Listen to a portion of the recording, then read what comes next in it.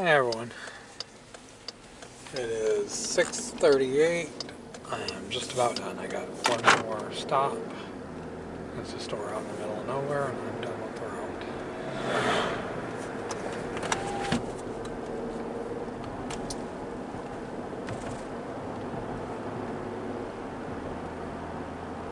I don't think I did too bad. It took two hours like it normally takes on Saturdays. Yeah, even though I had to go home and use the bathroom, it still took two hours. I don't think I did too bad.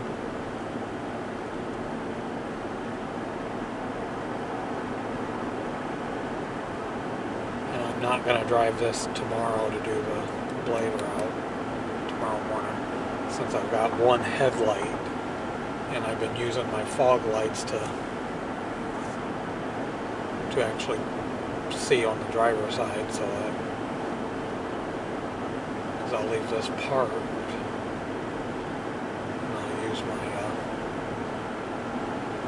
fusion tomorrow.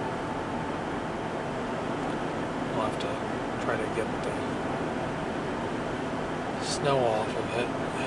Try to get that heater in there so I can get it, get it warmed up a little bit.